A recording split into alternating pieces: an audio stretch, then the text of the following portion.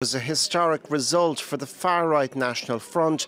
The party topped the poll nationwide and in six of France's 13 regions in Sunday's elections. For its leader, Marine Le Pen, it was a vindication in the face of the political establishment. The people have spoken, and thanks to them, France can lift up its head.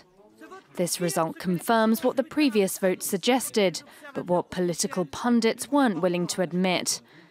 The national movement is now uncontestably France's number one party, even if it's barely represented in parliament. The National Front took 28% of the vote, the best performance in its history.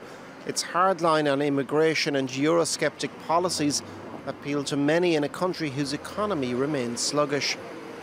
The French people are fed up, and it's time to change things, or in any case, try to change things by, for once, voting for change. Change is more with Marine Le Pen than what was promised to us up until now. We never gave up hope, but we did it, and I'm very happy. Marine is alone against everyone else. The others are forming alliances on the right and on the left behind her back, while she's on her own. Marine Le Pen's party had been leading in the polls throughout the year, its anti immigration message resonating with voters, particularly in the northern region of Pas de Calais, where many migrants have congregated in an attempt to get to the UK.